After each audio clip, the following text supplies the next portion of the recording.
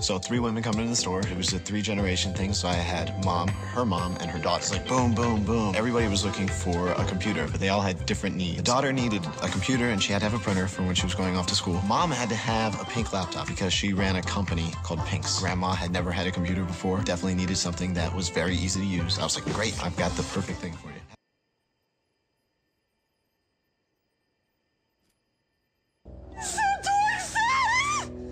What?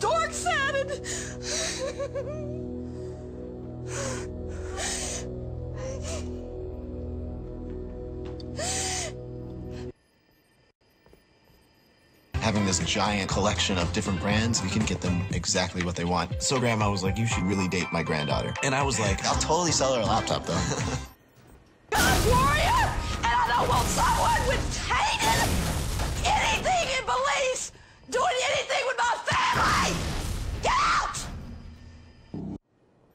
boom, boom, boom.